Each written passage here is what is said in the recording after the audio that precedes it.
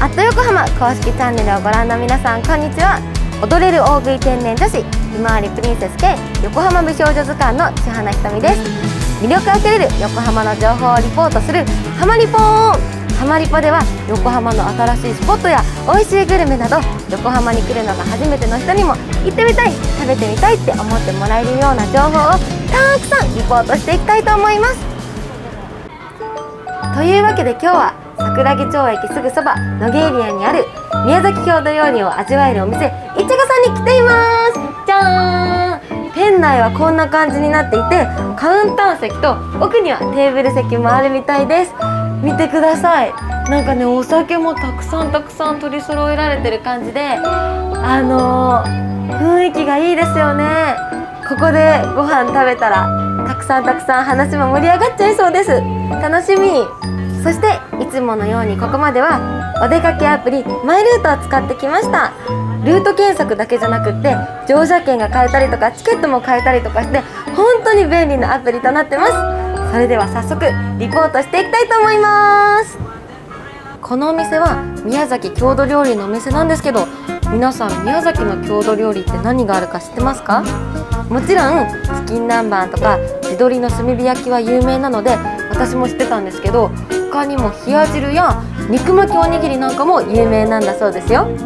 もうチキン南蛮は私大大大大大好きなのでもう早く食べたい。山ほど食べちゃうぞって感じです。というわけでこちらがお料理です。もう焼きたてでグツグツいっててあいい匂い。早く食べたいです。もうアップアップアップお願いします。おおこっちですよ。こっちこっちこっち。うわですね。さっき焼き上がってましたよ。こちらは宮崎県郷土料理のチキン南蛮です。美味しそう。それでは早速いただきます。うわプリップリですね。キラキラ。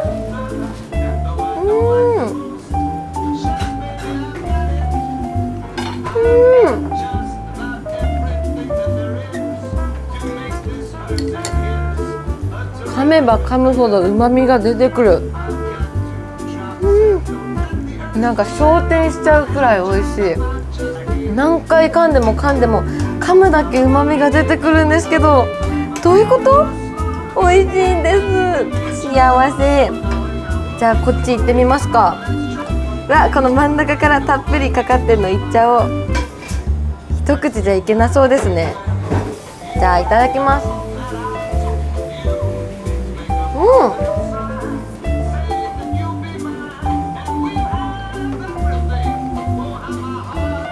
こっちはね柔らかい。うん。なんか酸味がある感じ。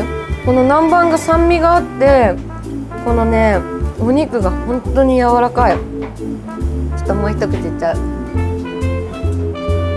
うん。なんかマスタード的なお味がする気がする。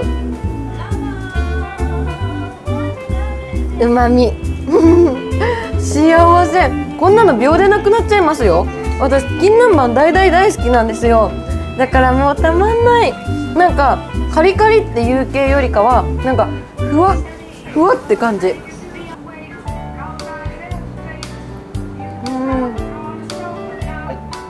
もうね本当にこだわってて宮崎のお醤油だとか鶏肉とかも全部宮崎から仕入れてるそうなんですよ。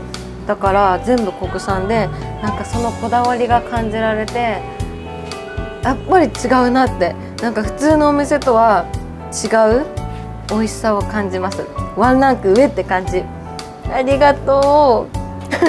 誰にありがとうって言ってるんだろうって感じですけどめっちゃ美味しいです。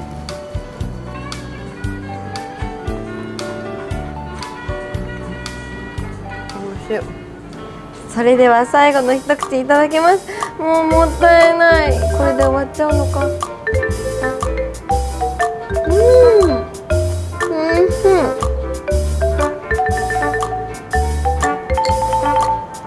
うん。もう柔らかい。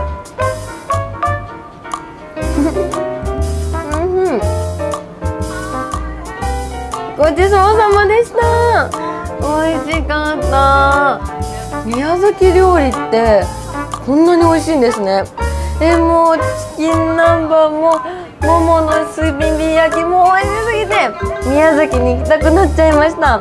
なんか他のメニューもこだわりが感じられそうなのでぜひぜひここに食べに来てくださいね。